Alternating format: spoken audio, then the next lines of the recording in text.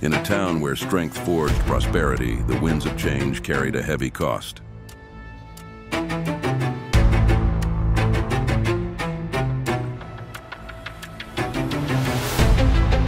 The fire that once built dreams now threatened to burn them down. As hope faded, a new generation wondered if they had a future at all.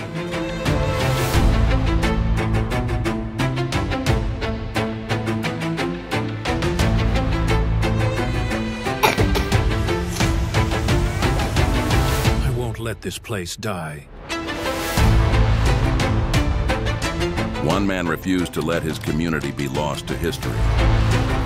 When the world offered no answers, he found a spark in the darkness.